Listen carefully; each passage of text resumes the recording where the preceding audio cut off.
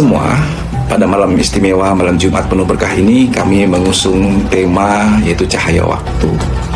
Di mana kita lihat bahwa sahabat semua sadar tidak sadar, semua orang punya kesempatan, semua orang punya waktu yang digunakan untuk amalia hemah, amalia hebat sholawat ini.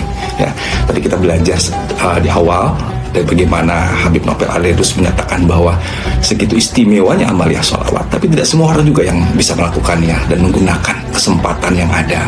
Ya karena memang setannya kerja keras ya. Mungkin setan tadi dengan jelas Habib Novel bahwa setan nyuruh mungkin nyuruh ibadah lain. Hayo kamu banyak infak hayo banyak sholat. Tapi pada saat sholawat setan nggak mudah dia membiarkan. Dia akan goda siang malam agar kita nggak ingat sholawat. Dia akan goda siang malam bagaimana kita lupa dengan amalia hebat amalia sholawatinya. Lebih baik karena setan udah mikirinlah dunia mikirinlah kerjaan, mikirin apa yang buat kita lupa.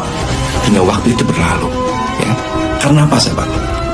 Kami melihat bahwa setiap orang punya waktu, waktu yang tidak bernilai. Nah, itu yang menjadi sasaran kita di Camp Salawat sebenarnya. Ya, kita tidak mengganggu waktu zikir. Silakan sahabat yang sudah punya waktu zikir-zikir hebat, kepada sholat kah atau apalah dengan amalan-amalan wiridnya kah istighfar dijaga itu sahabat.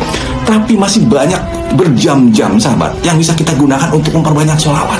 Nah itu yang kita bidik. Mudah-mudahan terinspirasi lewat acara cahaya sholawat ini di mana kita dan orang di luar sana punya waktu di perjalanan, punya waktu menunggu, punya waktu bekerja, punya waktu yang memang tidak kita gunakan untuk ibadah lah ya. Karena kita mungkin tidak tidak berzikir mungkin saat itu atau tidak ingat sesuatu. Nah itu yang menjadi target kita.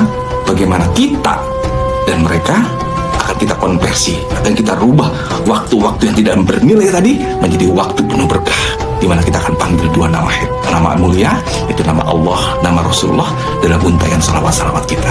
Ya itu target kita.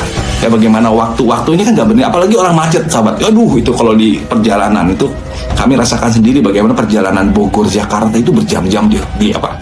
Di tol macet apalagi di perjalanan-perjalanan yang dengan kendaraan umum itu berjam-jam. Bayangkan sahabat bisa menginstal atau mengedukasi mereka bahwa amalia sholawat ini coba diperbanyak deh. Allahumma sholli ala sayyidina Muhammad terus terus itu kalau tiga jam dipakai itu bisa mungkin ribuan sahabat. Ya karena kami rasakan itu bisa ribuan. Nah sekarang yang jadi masalah bagaimana motivasi tersebut? Bagaimana metode sederhana ini sampai kepada mereka kan? Gak mungkin dengan tangan kecil ini kan dengan satu dua orang. Kita butuh banyak orang yang mengingatkan mereka.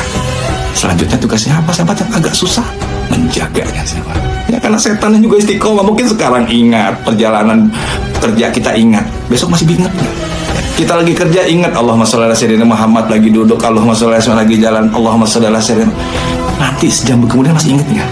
Ya jadi itu sahabat kita ingin terus kalau kayak handphone kami ibaratkan handphone sinyalnya bisa kuat terus nggak tuh? Ya kalau sinyal kuat kan komunikasinya hebat kan? Komunikasi kita dengan Allah komunikasi dengan Rasulullah dengan dengan apa? Dengan salawat kita hebat tuh sinyal itu karena kita ingat ya, pada saat kosong itu sama kayak handphone gak ada sinyal tuh nggak bisa dipakai telepon nggak bisa dipakai komunikasi kan? Begitu juga kita bisa nggak kita terus terhubung dengan Allah Rasulullah itu lewat uh, apa?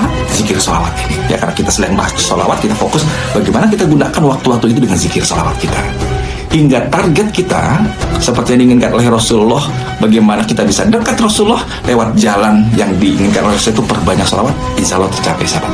Salah satunya apa? Dengan menggunakan tidak